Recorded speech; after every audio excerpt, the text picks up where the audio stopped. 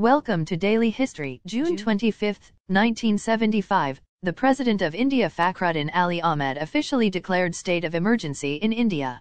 June 25, 1991, Slovenia and Croatia declared self-independence from Yugoslavia. June 25, 2009, Michael Jackson, who was renowned as the king of pop, died at age of 50. Thanks for watching, please subscribe.